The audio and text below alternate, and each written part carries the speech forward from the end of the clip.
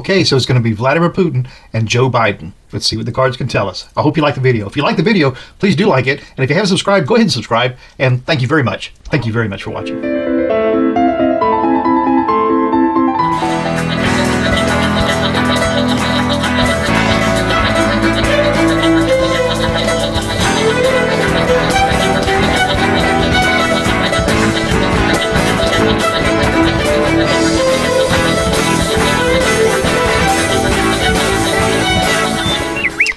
Hi, I'm Mark, and this is my journey through tarot.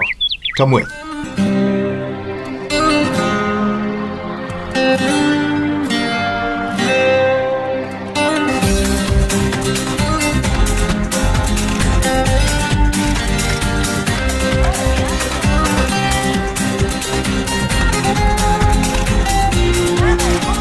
So pretty interesting. I mean, Putin actually called Biden. That is a sign of weakness. Okay, um, he came asking, and uh, and that shows us that uh, somehow we've got the upper hand in this thing. And I trust uh, the steady hand that Joe has on the tiller. So uh, we'll see what the cards have to say. Of course, it could be the other way around. You know, if you want to be in charge of the situation, you want to make the attack. Okay, you want to be the one that's putting the other person uh, on their foot. But the thing is that Russia's not attacking the United States. It's trying to attack Ukraine, take over that extra uh, uh, that land over there, and uh, it's got they've got all their oil running through the Ukraine to Europe. So their card to play could be that we'll hike up the prices, we'll limit the oil fuel oil going through at this time of the year when everybody needs it. Uh, but before they did any of that, they came to the United States and said, "What? What did they say?" Let's see what the cards have to say. But first, let's look at the cards. Okay, so this is the Housewives Tarot, a domestic divination kit with deck and instruction book by Paul Kepple and Jude Buffum, and this is put out by Quirk uh, uh, Press, I guess it's called. So this is so neat. It's reminiscent of a recipe box, and it's it's really sturdy, solid, thick cardboard. And it's got so many cool illustrations on the outside. It was only about sixteen dollars, and um, and then it's even got here uh, guaranteed by the Housewife Occultists of America. Just really neat. Okay, so if we go inside, the first thing you're going to notice is that it's set up just like a recipe box. The first little card here, you'll see it says uh, the Housewife Tarot. And then on the back of this, it just tells you about the publisher and the copyrights and that sort of thing. But the second card is labeled as the Major Arcana, okay? And then the back of it is an actual, real recipe. I mean, I've read the recipe. You can make this. This one's called the Icebox um, Fortune Cake. And I won't read the recipe, but I'll just tell you this cool uh, little thing says is for use with the Neapolitan spread. The spread is referring to, I think, four or six uh, ways to divine the card, to spread the cards out. So this is for use with the Neapolitan spread. And it says here, eat this cake quickly before your past, present, and future start melting together. Really, you know, just cute. Uh, the first section here had the major arcana in here separately. Of course, I've mixed up the cards and, and, shuffled them, so it's not that anymore, but I put that little group there so you can see what it looked like. The second um, card here is the uh, minor arcana uh, card, recipe card. Again, another recipe that you can actually prepare. This is like deviled eggs, but they've called it here divinated eggs instead of deviled eggs. And it says for use with the dinette spread, so like a dinette table. And it says you'll never go back to deviled eggs once you've had them divinated. Really cool and a decent recipe. The third um, card, which I've got out of, uh, and then the, of course the uh, pip cards, the minor, minor arcana with it. The third card, which was actually uh, here, uh, it talks about the instruction booklet. And I'll pull it out and it says, yep, instruction booklet. And then on the back, another recipe. And this is his Madame Marlena's Mystical Martini. It's for use with the martini spread, which is another spread they recommend. And also it's an, an actual, actual recipe you could prepare. The booklet itself is amazing. It's a really good quality of booklet. Okay, it's got full color and really great, uh, interesting divinations for the cards. But the first part is what's so cool. The first page here tells you one, two, three, four, five different spreads that you could uh, lay the cards out in. They suggest they've developed. And then this, I'll just tell you this first little paragraph and then a last sentence because this is just gives you an idea of how uh, quirky and how interesting this thing is written. It says right here regarding the mystical Housewives Tarot, the legend. Uh, according to gossip, the Housewives Tarot was introduced by housewife extraordinaire Marlene Louise Weatherby in the early 1950s. She was a happy homemaker who seemed to have it all: a devoted husband, obedient children, a sparkling home that was the talk of the town, a fashion sense to die for, and for more than her fair share of and more far more than her fair share of women's intuition. Very cool. And then just the last sentence is so neat. It says here, just how exactly did Marlene acquire these this mystical knowledge? Whether uh, whenever pressed, she kept her lips sealed tighter than Tupperware. Marlene took her secret to the grave, bless her heart, and the origin of the housewife's Tarot shall remain shrouded in mystery forevermore. Just really, really very thoughtful. Everything about this. So, if you can't tell, I'm loving the deck. So that's the box. The cards uh, actually, they're a decent weight of cards. Okay, they're not too slick. And uh, this kind of looks like a tablecloth, doesn't it? And then uh, let me lay them out for you. The, they are different. Um, the major arcana and then the minor uh, pip cards have their own kind of color coded uh, sequencing here. Major arcanas are circled in black, the uh, cups are in blue and uh, green for the pentacles, etc., and so forth.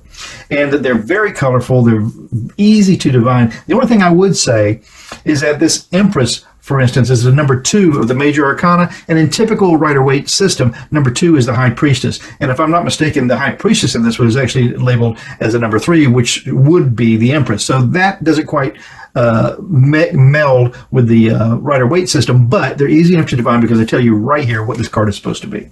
You know, I lay the cards out like this so that you get a chance to see more than just the few that come out when we do a reading, and um, to also give you an example of, you know, if you're doing a reading for someone, they can do this too and uh, lay the cards out, and you kind of get their energy, you know, if you don't particularly want them to shuffle them, which I don't particularly like people to shuffle my cards because I kind of shuffle them uh, not in a um, you know, not in a, a rough manner. So here we have it, the Housewives Tarot.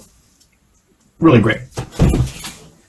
But before we get started, why don't we just take a moment, just a couple of seconds for contemplation.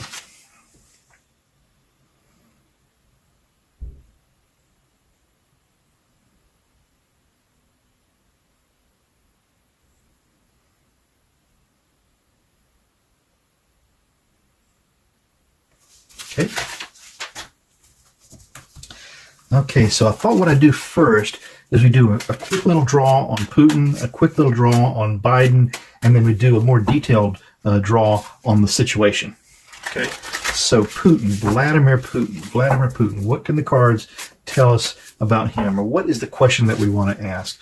Let's see, is is is Putin going to try to take more of the Ukraine? Is he going to try to take more of the Ukraine.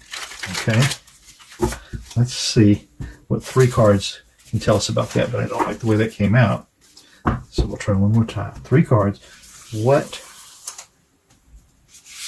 is he going to try to take more from the Ukraine? We're talking about land. Okay, first card out of the pack, the Magician. Okay, so somehow he expects to manipulate the situation uh, in, a, in, an unbelievable way. The magician has all the tools available to, to him uh, to get the job done. He's the first person that the fool meets on his journey of uh, 21 cards. So this is where the uh, the fool picks up some some tips on how to go about his journey. So Putin as the magician. The next card for whether he'll try to get some, I'll look at that. We just talked about the fool and this is the fool's journey. So this is, you know, starting off on a new journey and this person here is just taking what are the essentials, okay? They've kind of left a lot of valuable stuff behind. And I wonder if this doesn't mean to us that, um, that that's how this will go, that he'll start off on his journey but without taking too much. Uh, the uh, final card in this, whether Putin will try to um, take some of the Ukraine, is the Seven of Wands is really being embattled a really difficult way. Wands are actions, uh, movement, forward of motion. But even though the seven of wands is typically uh, typical, uh, significant, signifying of being embattled, the job can get done. It's just a difficult job. Okay. So just to say again, Putin, uh, will he take more of the Ukraine? He's got the tools that it takes. He's off on this journey, leaving a lot of value behind, and he can get this done if he really wants to. So I'm going to say he may try. Now, let's talk about Biden, Joe Biden. So the question is, is Biden able to deter Putin from this power grab? Will Biden be able to deter Putin on this power grab? I mean, if he does, it'll be with the help of our allies. But um, Biden, it seems, I mean, he's the person that uh, Putin called. So it seems like he's the one who has to get the ball rolling. Three cards. Biden, are you going to be able to hold Putin back? Okay. The first card out of the draw is the Emperor. Okay, perfect card. This tells the Emperor is is the major arcana. He's the third uh, person in this deck on the Fool's Journey, and um, he's the guy who's got everything that it takes. What he says is going to go, and I love that. Okay, uh, so Biden contacting uh, or Putin contacting Biden shows who uh, the who's in charge of this. Putin may be the magician, but Biden is the emperor. The next card out of the pack here is Judgment. Okay, so this is number 20 of the Major Arcana. We're just about finished of the journey there. And so the Emperor and Judgment are on Biden's side. The last card is the Two of Pentacles. Okay, finding a balance, getting the worth just right. So yeah, it looks like Biden is going to be able to uh, work this out to um, to the advantage, uh, not so much to the advantage of uh, Russia, but to the advantage of the allies. Yep, that's a very good draw for that. And now we'll just dig a little deeper into the issue.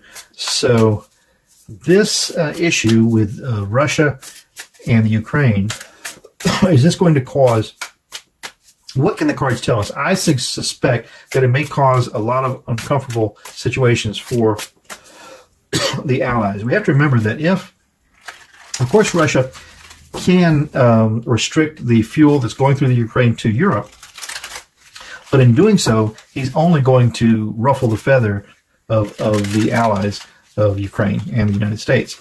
So that doesn't seem like a winning hand. We'll take six cards to begin with.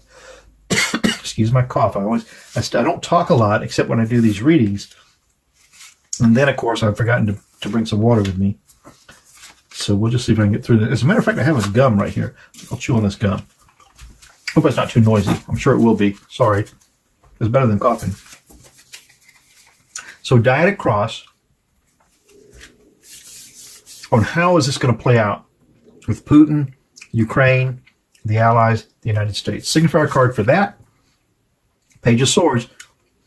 Putin is the page. He's the weakest of the cards. He's running with the truth, justice, rules, and law. And this is a dangerous way for him to behave. The uh, challenge to that is the Queen of Wands. Look at this mom's she's got the broom she's the queen of what's going on here and she's scolding this fella saying what do you think you're doing stop that sounds right to me the base of this reading then is the six of wands and the six of wands oh i always forget let me look that up because i don't want to say the wrong thing here six of wands okay oh yeah so the six of wands is victory so these folks are are looking in the window at all these ones, all these actions, all these plans in amazement at how the situation is getting cleaned up. So for me, these are the allies looking in the window and saying, okay, yeah, everything's getting cleaned up the way it should be. They're in amazement. They're in happy amazement about what's going on here. This is victory. And this is victory for the good guys, not the bad guys. And the pastor of this reading is a fool. And that's what he's been. Putin has just been a fool off on this journey without take, uh, considering everything that he should take with him. The sky of this reading is the Five of Cups. The Five of Cups is, um, you know, cups are emotion or passion or compassion. This one is distressed. A lot of these drinks are spilled. A couple of these martinis are still up. So there's something left to go on with. So it looks like to me like Russia has spilled some of their value, some of their compassion. They've spent a good deal of the emotion that goes along with this issue, and they still have just a little bit left to carry on with. And then the final outcome for this with the Two of Pentacles, uh, just like Biden, is there's going to be a balance found here that makes all this work out. So that's beautiful. Page of uh, Swords is uh, Russia uh, running with scissors. Queen of Wands is the United States and the Allies saying, What are you doing? Slow down. You're not going to do this in this house. The base of this is the Six of Wands. These are the allies looking in at how things are getting all cleaned up in some amazement. The past of this reading is the Fool. This is uh, Russia off on this ridiculous journey. The sky of this reading is the Five of Cups. This is Russia uh, crying over spilt milk. And then the final outcome of this is the Two of Pentacles finding just that perfect balance, which is what Biden is so good at. So I love this reading for um, for this question. So what did you think? Does that seem to make sense to you with what's going on in the world and, and the way the cards look? And I love using the deck anyway. So it seemed like an appropriate uh, set of cards to use for this issue. And I hope you felt so too. Let me know in the comments. Tell me what, what you're thinking. Well, I'm Mark. This has been My Journey Through Tarot. I'll be doing it again tomorrow if you want to go, so stop on by. Ciao for now.